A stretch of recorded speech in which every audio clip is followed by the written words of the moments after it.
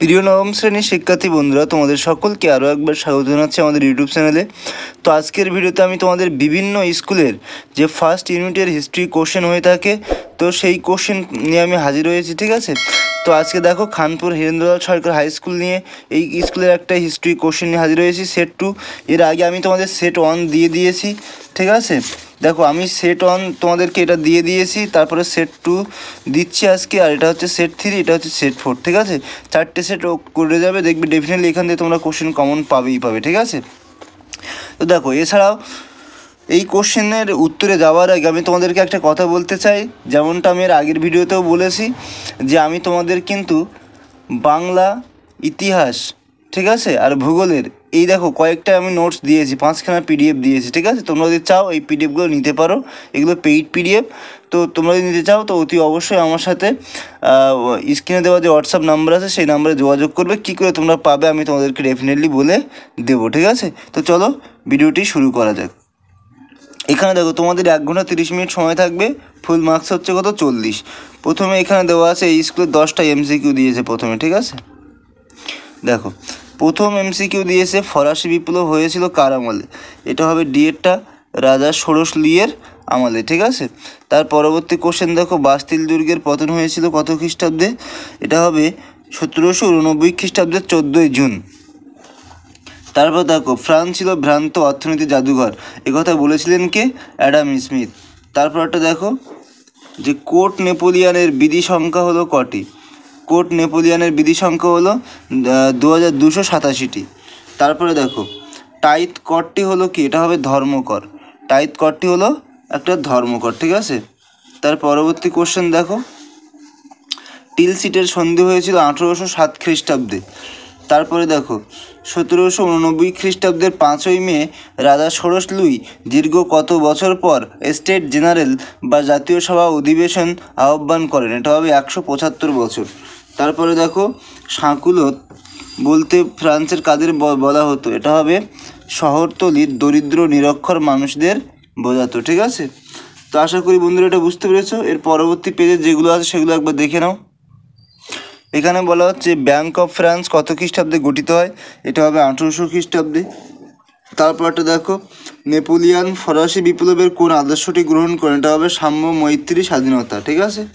তার পরবর্তী বিভাগ ক্ষয়ের প্রশ্নগুলো একটু দেখে নাও। এখানে বলা হচ্ছে, নিম্নলিখিত প্রশ্নগুলির উত্তর দাও। বাম স্তম্ভের সঙ্গে ডানা স্তম্ভের মিলন। এখানে প্রথম দেওয়া আছে সতেরোশো নিরানব্বই খ্রিস্টাব্দ।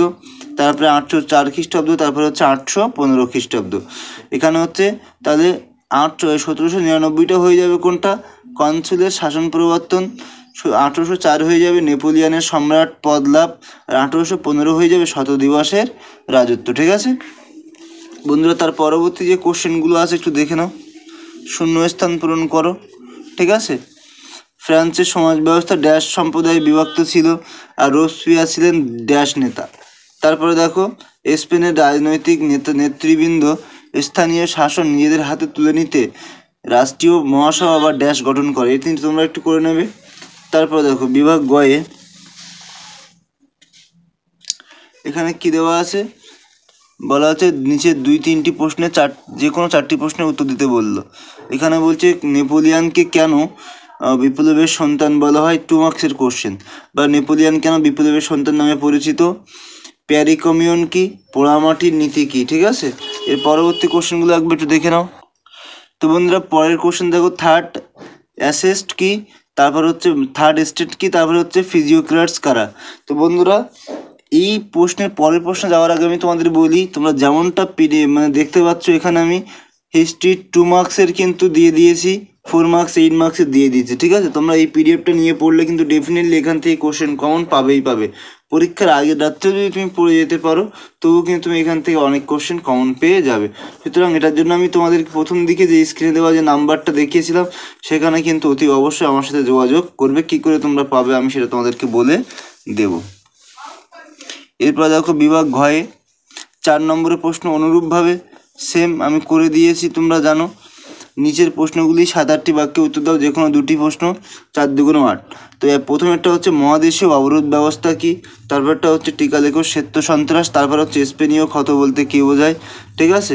এরপর দেখো, বিভাগ মতে আট নম্বরের প্রশ্ন কি দিয়েছে? নেপোলিয়ান কেন রাশিয়া আক্রমণ করেছিলেন? তার এই অভিযান ব্যর্থ হওয়ার কারণ কি? তারপরটা দেখো, ফরাসি বিপ্লবে দার্শনিকদের ভূমিকা আলোচনা করো, ঠিক আছে? এর সাথে আরেকটা কোশ্চেন করে রাখবে ফরাসি বিপ্লবে সামাজিক, রাজনৈতিক ও অর্থনৈতিক কারণ, ঠিক আছে? তো বন্ধুরা, এই ছিল তোমাদের সম্পূর্ণ দ্বিতীয় ফার্স্ট ইউনিটের তোমার সেট টু এর কোশ্চেন তো যদি ভিডিওটি ভালো লাগে, অবশ্যই একটা লাইক করবে কমেন্ট করবে শেয়ার করে দিও বন্ধুদের সাথে। আর যদি তুমি আমার চ্যানেলে নতুন হয়ে থাকো, অতি অবশ্যই চ্যানেলটিকে সাবস্ক্রাইব করে দিও। তো আজকের ভিডিও এই পর্যন্ত, দেখা হচ্ছে এরকম কোনো একটা ইম্পর্টেন্ট ভিডিওতে ততক্ষণে সবাই খুব খুব ভালো থাকবে। সবাইকে অনেক অনেক ধন্যবাদ।